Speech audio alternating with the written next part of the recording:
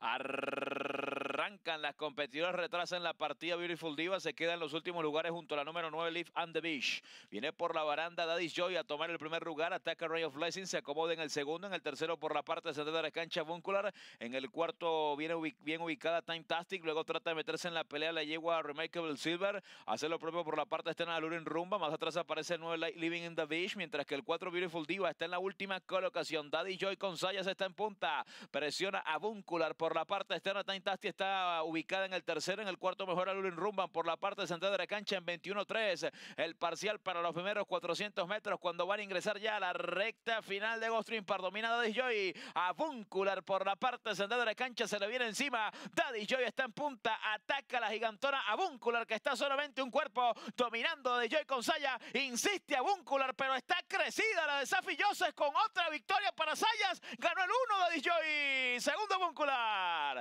Tercero Taintasti. Cuarto para Luren Rumba.